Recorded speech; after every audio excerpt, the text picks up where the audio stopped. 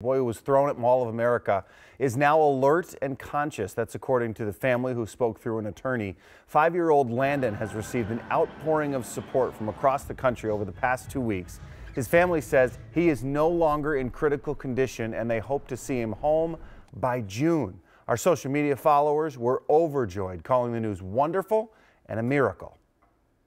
We're astounded and so blessed by the over 28,000 individuals and families from literally all over the world that have donated to our GoFundMe page. Your love and generosity overwhelms and means so much to us. Meanwhile, the man accused of throwing their son is still in jail. Emmanuel Aranda is charged with attempted murder. Closing arguments are scheduled to begin Monday in the trial of Mohamed Noor, the former Minneapolis police officer who shot and killed Justine Ruszczyk Damond, took the stand yesterday. Noor testified that he saw Ruszczyk Damond raise her arm, and that combined with his partner's reaction led him to believe that she posed a deadly threat.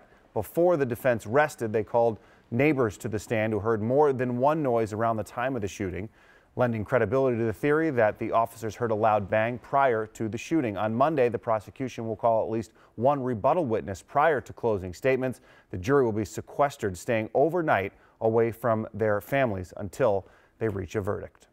A truce for now between Minneapolis Mayor Jacob Frey and the police union on use of force training for officers after first saying the union would defy the mayor's ban on so-called warrior style or fear-based training.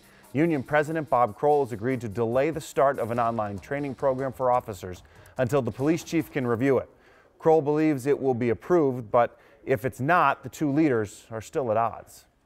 If any officer is found to be deviating from the policy, uh, yes, there will be discipline. All, all trainings regarding use of force uh, have to be first authorized by the chief. I don't see how any way imaginable discipline can be employed.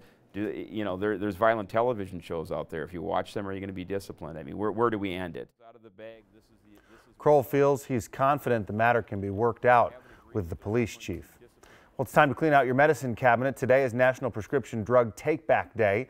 You can drop off unwanted or expired medications at collection sites across the area. We have a link to drop off sites in Minnesota at KARE11.com. And a traffic alert 35W is shut down in Minneapolis, so crews can replace some ground, underground utilities. The freeway is closed in both directions and will reopen Monday morning at 5. The detour will follow highways 62 and 100 and I-394.